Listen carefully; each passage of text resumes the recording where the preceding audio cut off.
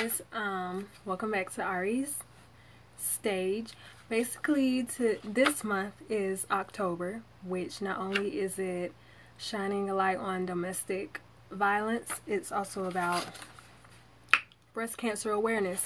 So I feel like every woman should be informed about this issue. It does not just affect women. Um, so today I decided to do a pink nail tutorial these are the results. Tutorial and review on Sally Hansen's Insta Dry Pink Blink and Pastel Pusher.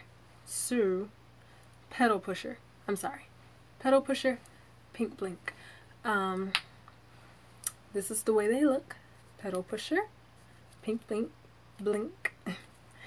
um, I hope you enjoyed this nail tutorial. I hope you love these colors and I hope whoever is dealing with breast cancer or any type of cancer that they get healed completely and it never returns again. I pray that those affected by family members or loved ones or friends or what have you, I hope that you're strong and you are able to help that person make it through. Um, so yeah, here's shining a light.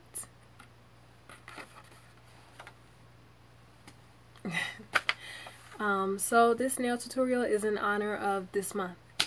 So we're going pink. Today we're going to be using the color pink. And our nails are already primed. There is a tutorial for a white nail polish.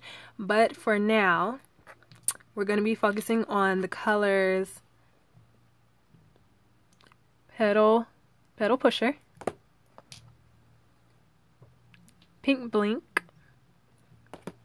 For our primer, we're going to use white on.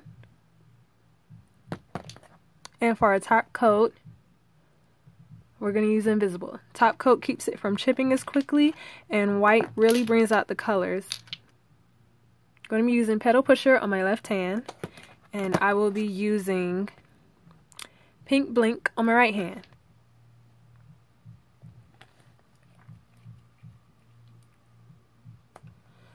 That's very pretty. And that is Petal Pusher. Okay, so that is Pink Blink. Compared. It's a slight difference. Well, to me, it's a major difference. Now that it's dry, we are going to add our top coat. And after this, we shall be done. Don't worry about the residue. Um, when you wash your hands once or twice, which you should automatically do, the residue will come off naturally. Couple of tips. Don't worry when you make a mistake because once you put your top coat on, it's going to make the mistakes blend out, if that makes sense. We chose pink today because it is October, which is National Breast Cancer Awareness Month. And shout out to all of those who have overcome their session with cancer, those who are healed, those who made it through, and shout out to the ones who didn't have such a great journey. However, we want to spread pink everywhere in respect for October. Save the tatas.